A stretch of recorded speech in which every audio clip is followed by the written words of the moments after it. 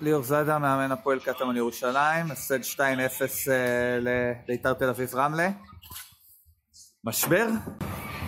כן, אה, אם אנחנו ארבעה משחקים לא מנצחים, אנחנו במשבר, בטח בגלל היכולת הלא טובה שלנו היום. יכולת רעה מאוד, אין, אין, אין הרבה מה להגיד, צריך לעבוד קשה עכשיו, ולקבל את הביקורת בהבנה ולחזור לעצמנו. מה קרה? מה קרה היום ובכלל בתקופה האחרונה? אפשר חמש דקות אחרי משחק אה, לבוא ולהסביר מה קרה, כנראה שקרו כמה דברים. הכי חשוב זה שלצערי איבדנו את הביטחון. אה, התוצאות האחרונות מאוד פגעו לנו ביכולת. אין תירוצים. מה שאני אגיד עכשיו זה שמע כתירוץ, צריך לעבוד קשה, להרים את הראש. אה, קבוצה שרוצה להצליח וקבוצה חזקה נמדדת גם ברגעים כאלה במשברים, ואנחנו נימדד עכשיו, אנחנו נקום מזה. ליאור, איך משנים עכשיו את ה...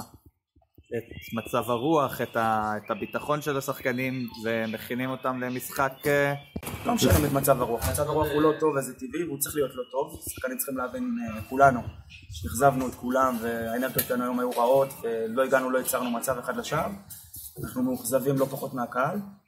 אה, שוב, מצב רוח צריך להיות לא טוב עכשיו, אבל אנחנו נצטרך מחר לקום, להתעורר ליום חדש, לעבוד קשה, להרים את הראש.